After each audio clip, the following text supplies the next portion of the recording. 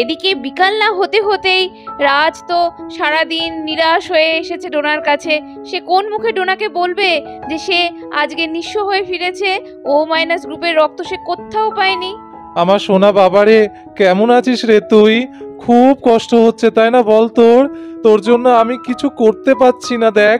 চারিদিকে এত টাকা পয়সা সবাইকে দেব বলছি কিন্তু কেউ কিচ্ছু করে দিতে পারছে না রে বাবা। তুই ফুটফুটে সবে এলি কত স্বপ্ন তোকে ঘিরেছিল। তুই কি আমাদের ছেড়ে চলে যাবি তাহলে?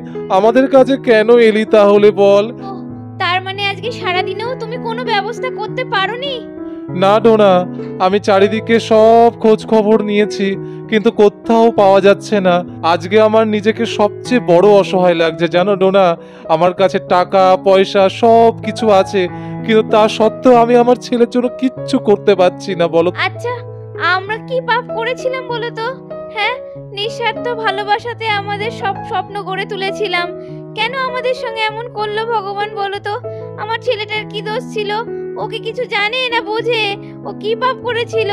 যে মা বাবার ভালোবাসা পেতে না পেতেই ওকে ভগবান নিয়ে নিচ্ছে আমাদের কাছ থেকে। আজকে আমি এত বড় একটা ডক্টর হওয়া সত্ত্বেও আমি আজকে হেরে যাচ্ছি, ডোনা। আমি চারিদিকে সব হাসপাতাল, সব ব্লাড ব্যাংক সব জায়গায় তন্ন তন্ন করে খুঁজছি, কোথাও পাচ্ছি না। কি করব বলো, ডোনা? আমি যে পুরো নিজের কাছে হেরে গেলাম। কি হলো, ডোনা? তুমি চুপ হয়ে গেলে যে হঠাৎ করে? কিছু বলছো না? কিছু বলো, ডোনা? কিছু বলো? কি বলব বলো? আমার তো আর কিছু বলতে ইচ্ছা করছে না। আমি কি করেছিলাম যে ঠাকুর আমাকে এত বড় অভিশপ্ত জীবন দিল? আরে, তুইও কেন কাঁদছিস? তুইও কি বুঝতে পারছিস যে তোর ভাই আর বাঁচবে না হ্যাঁ? তুই সব বুঝতে পারছিস, তাই না বল? মায়ের দুঃখ দেখে তোরও চোখে জল চলে এলো। কাঁদে না মা, অত কাঁদে না। এখন তুই আমাদের শেষ সম্বল। আর সবটা ভগবানের ওপর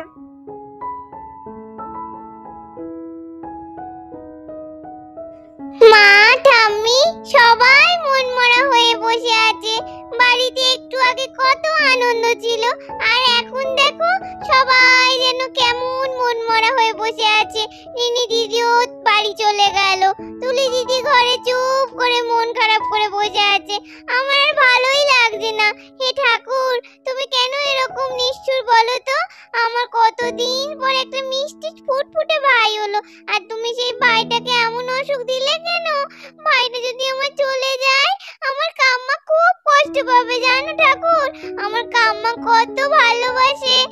পুচকুটাকে। আর আমি কি করব? আমি কতদিন পর একটা ভাই পেয়েছিলাম, কত আশা করেছিলাম ভাইয়ের সঙ্গে খেলা করব।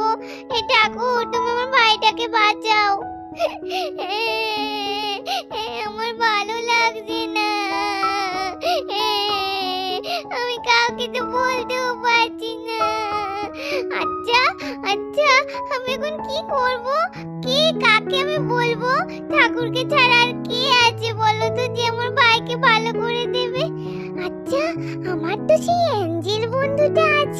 হ্যাঁ হ্যাঁ ওই অ্যাঞ্জেল বন্ধুকে ডাকলে আমার কাছে আসবে। আমি একটুখানি বরং অ্যাঞ্জেল বন্ধুকে ডাকি। কিন্তু কেমন যেন করে ডাকবো বলেছিল? ও হ্যাঁ তিনবার অ্যাঞ্জেল বন্ধুর নাম ধরে ডাকলেই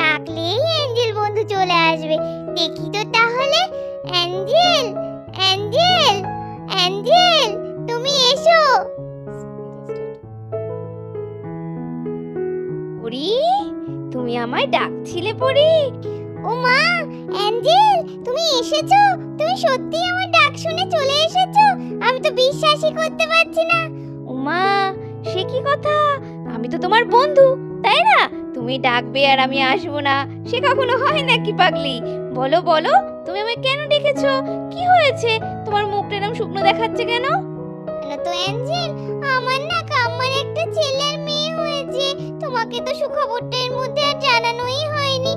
তারপরে না ডাক্তারবাবু বলেছে আমার ভাইটা বাঁচবে না। ওর না কি একটা কঠিন অসুখ হয়েছে।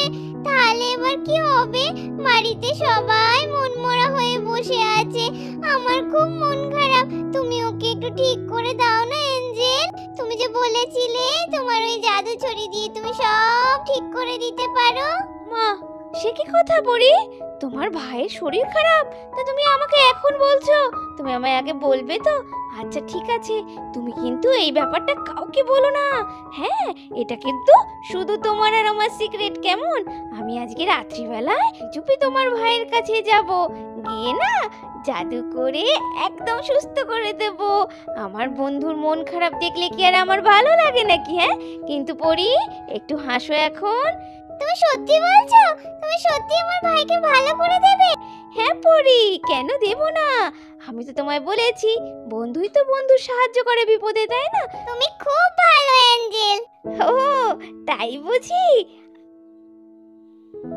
জানো তো পড়ি তোমার নামও পড়ি যেমন আমার অ্যাঞ্জেল মানেও কিন্তু পড়ি আমরা দুজনে তো একজনাই তাই না? তাই একে অপরের বিপদে আমরা সব সময় পাশে থাকব। আর এটা তো আমার মিষ্টি বন্ধু ছোট্ট একটা মিষ্টি বন্ধু। তার মন খারাপ হলে আমি কি ভালো থাকতে পারি বলো? হ্যাঁ গো তুমি সত্যি খুব ভালো। একদম আমার মায়ের মতো তুমি। এদিকে দিন শেষ হয়ে রাত হয়ে গেল। ডোনা তো কেঁদে কেঁদে অস্থির হয়ে ক্লান্ত শরীর নিয়ে ঘুমিয়ে পড়েছে। আর দেখো বাচ্চা দুটো দোল্লার মধ্যে চুপটি করে শুয়ে আছে।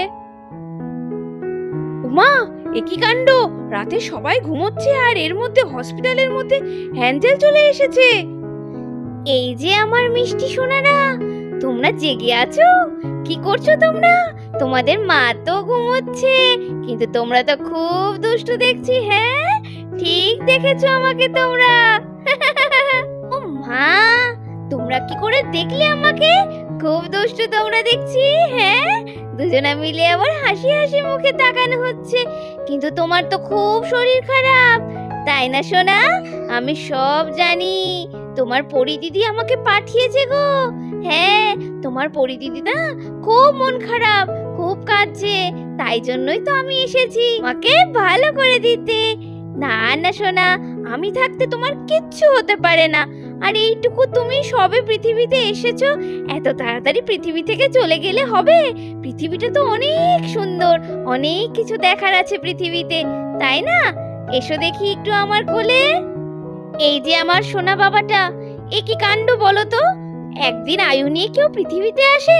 আচ্ছা আমি তোমার সব আয়ু বাড়িয়ে দেবো। আজ থেকে তোমার নতুন জন্ম দেব আমি। তাই জন্য আমি মায়ের মতো সব সময় তোমার আশেপাশে ঘুরবো। আর তুমি কিন্তু আমায় সব সময় দেখতে পাবে।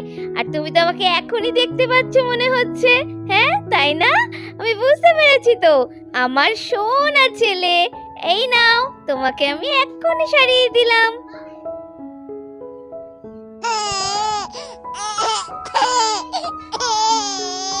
খুব আনন্দ হয়েছে তাই না? এই দেখো, তোমাকে একদম আমি সুস্থ করে দিয়েছি, ওলে বাবালে। কি সুন্দর খেলা হচ্ছে হ্যাঁ? কিন্তু এখন খেললে হবে না, মা যে জেগে যাবে, মাকে জাগতে দিলে হবে না, এটা তোমার আর আমার মধ্যে সিক্রেট হ্যাঁ? আমি তো যাব এবার, তুমি না চুপটি করে দিদির পাশে শুয়ে পড়ো, কেমন? আমাকে তো যেতে হবে শোনা এবার আমাকে ছাড়ো। আমি থাকলে হবে এখানে। না না, ওরম করে না। তুমি শুয়ে পড়ো কেমন? আমি তাহলে যাই। সোনারা, আমি তাহলে যাই। টাটা। দেখো, অ্যাঞ্জেল চলে যাওয়ার পর ডোনার ছেলে তো কাঁদতে শুরু করে দিয়েছে। ও মা, কি অবস্থা? কিন্তু ডোনার তো ঘুম ভেঙে যাবে। কান্নার আওয়াজে। আমি কি শুনছি? আমার ছেলেটা মনে হচ্ছে কাঁদছে। ওকে কাঁদছে, ওকে কেঁদে উঠল। হ্যাঁ হ্যাঁ। হ্যাঁ হ্যাঁ ও তো নড়ছে, ও তো সত্যি কাঁদছে। এ তো ভারী অদ্ভুত ঘটনা। আর ওর মুখে যে অক্সিজেনের মাস্কটা ছিল সেটাও তো দেখছি নেই। হ্যাঁ এটা কি করে সম্ভব? কি করে সম্ভব? ও নার্স দিদি নার্স দিদি ও নার্স দিদি শিগগিরই আসুন। কি হয়েছে না ডাকছো কেন? উমা, তোমার ছেলে কাঁদছে নাকি? ওমা এ কি কাণ্ড? ওর মুখের অক্সিজেন মাস্ক কোথায় সত্যি তো? আর গায়ের সমস্ত জিনিসগুলোও তো নেই দেখছি। ওমা ওমা, এ কি কাণ্ড? এ তো মিরাকেল হয়ে গিয়েছে। ওঠো না, তোমার ছেলের গা তো একদম হলুদ থেকে সাদা ধবধবে হয়ে গিয়েছে। ও তো জন্ডিস ওর কি করে এক রাতের মধ্যে এরকম গায়ের রং পাল্টে গেল? আর ও তো বেশ কাঁদছে। ও তো কাদার মতো অবস্থাতেও ছিল না। তাহলে এটা কি করে সম্ভব? দেখো, তোমার ছেলে পুরো সুস্থ হয়ে গেছে গো। কিন্তু ওর গায়ের জিনিসগুলো কোথায় গেল? হ্যাঁ সত্যি বলছেন, সিস্টার দিদি? এটাও কি সম্ভব? আমি তো ঘুমোচ্ছিলাম, আমি হঠাৎ করে ওর কান্নার গলার আওয়াজ পেয়ে ঘুম ভেঙে গেল। ঠাকুর আছে, সত্যি ঠাকুর আছে। বাবা রে তুই ফিরে এসেছিস আমার কাছে, খোকন সোনা আমার। আমি যে কত টেনশন করছিলাম, তুই জানিস না, আমার তো প্রাণটাই বেরিয়ে গিয়েছিল আর একটু হলে। বাবা, আমার ছোনা ছোনা, আমার মিত্তি ছোনা, আর কখনো মাকে ছেড়ে কোথাও তুই যাবি না কিন্তু। আমার সোনা, আমার মানিক। বন্ধুরা দেখতেই পাচ্ছ, অ্যাঞ্জেলের ম্যাজিক বা জাদুতে ডোনার ছেলে আজ পুরো সুস্থ আর ডোনা যেন প্রাণ ফিরে পেয়েছে। তাই হাসপাতালে আজকে খুব আনন্দের পরিবেশ। তো এরকমই ভিডিওগুলো দেখতে গেলে অবশ্যই সাবস্ক্রাইব করে দাও টাইনি ভিলেজ স্টোরি কাল দেখা হচ্ছে নতুন একটা এপিসোডের সঙ্গে। ততক্ষণের জন্য সবাই অনেক ভালোবাসা নিও, ভালো থেকো, টাটা।